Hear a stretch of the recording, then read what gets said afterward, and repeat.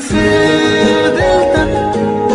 दिल से दिल तक। ओनली ऑन रेडियो चिनार 90.4 अगर आप कुछ अच्छा सुन रहे हैं तो आप सुन रहे हैं radio Chinar radio Chinar 90.4 FM से मैं हूँ आरजे साहिल मुजफ्फर। हर धड़कते दिल और परखती निगाह को मेरी तरफ़ से प्यार मोहब्बत और खलूस भरा। वालेकुम दोस्तों, दिल से दिल तक की आज की जो कहानी है ना, वो शुरू होती है एक बड़े बिजनेसमैन के ऑफ़िस से।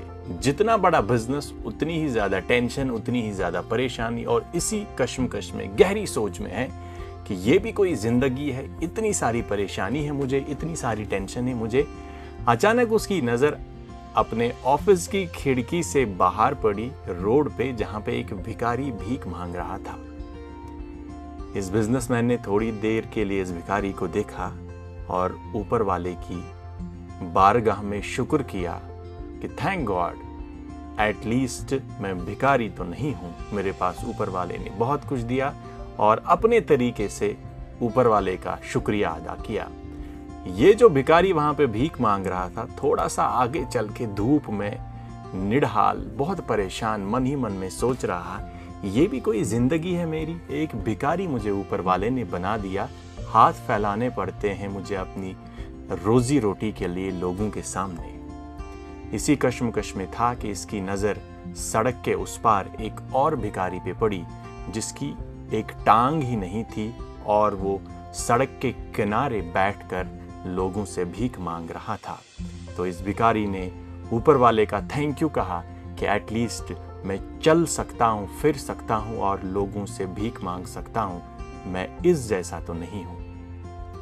थोड़ी देर के बाद ये जो सड़क पे भिखारी बैठा था, ये मन ही मन में सोच रहा था, क्या ज़िंदगी है मेरी?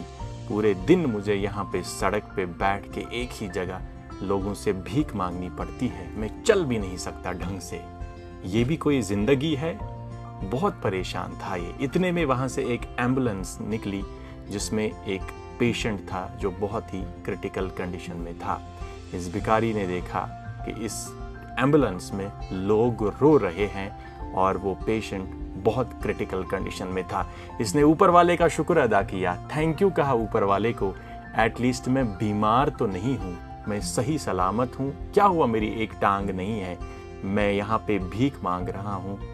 हॉस्पिटल में ही नहीं हूँ, एंबुलेंस में नहीं हूँ। और ये जब एंबुलेंस हॉस्पिटल पहुँची, इस बीमार को वहाँ से स्ट्रेचर पे हॉस्पिटल के अंदर लिया गया तो ये मन ही मन में ये पेशेंट सोच रहा था, क्या ज़िंदगी है मेरी? मैं बीमार हूँ, हॉस्पिटल में हूँ, मेरी हेल्थ ठीक नहीं है, ये कौन सी ज़िंदगी है? इतने में इस पेशेंट की नज़र पड़ी एक स्ट्रेचर पे, जहाँ पे एक डेड बॉडी थी डेथ हुई थी और उसकी फैमिली उसको अब घर ले जा रहे थे। और इस पेशेंट ने ऊपर वाले का शुक्रिया अदा किया एटलीस्ट मैं तो ज़िंदा हूँ, मैं मरा नहीं हूँ, बीमार हूँ तो क्या हुआ?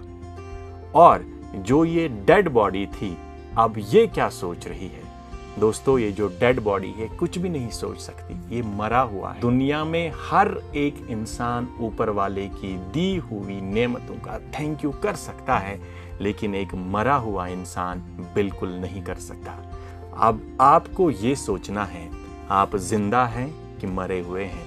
अगर आप ऊपर वाले से थैंक यू कह रहे हैं, हर एक चीज़ के लिए जो उसने दी है तो आप ज़िंदा हैं। और अगर आप थैंक यू करना भूल गए हैं आपने कभी थैंक यू किया ही नहीं है तो आप ज़िंदा नहीं हैं।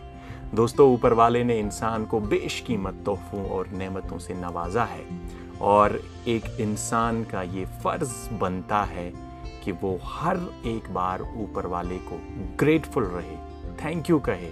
ऊपर वाले ने जितना दिया है, जितना अदा किया है, उसमें ऊपर वाले का थैंक यू कहे, क्योंकि attitude of gratitude is the key जी हाँ दोस्तों, जब भी मौका मिले, ऊपर वाले का थैंक यू कहो। हाँ ज़िंदगी में और अच्छा करने की कोशिश करो, लेकिन साथ में जो जो भी आपके पास हैं, जितनी भी चीज़ें हैं, उनके लिए ऊपर वाले का शुक्रिया करो। बहुत से ऐसे लोग हैं जिनके पास कुछ भी नहीं है, फिर भी वो थैंक यू करते रहते हैं ग्रेटफुल रहते हैं।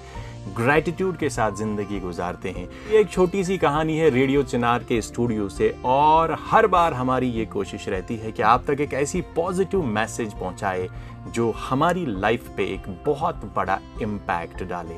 आज इस कहानी के ज़रिए भी मैं आप तक यही मैसेज पहुंचाना चाहता हूँ कि ज़िंदगी में खुश रहो ज़िंदगी में प्यार बांटो और ज़िंदगी में खुशियाँ बांटो। जो ऊपर वाले ने दिया है, उसमें खुश रहो। कंप्लेंट करने की ज़रूरत नहीं है, क्योंकि कुछ लोग ऐसे भी होते हैं जिनके पास कुछ भी नहीं होता, फिर भी वो खुश होते हैं। बस आज भी यही मैसेज दूँगा। खुश रहो, शाद रहो, शादाब रहो, जहाँ रहो, आबाद रहो। जी हाँ दोस्तों, इसी उम्मीद के साथ कि hope to see you soon sometime on the beaches of the world sipping orange juice in the sunshine.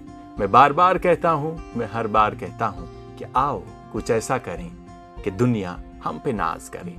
Till the time we meet again let's separate some love separate some smiles this is R J Sahil Muzaffar signing off for the day thank you for watching Dil Se Dil तक। दिल से दिल तक only on radio Chinar 90.4 तेरे दिल तक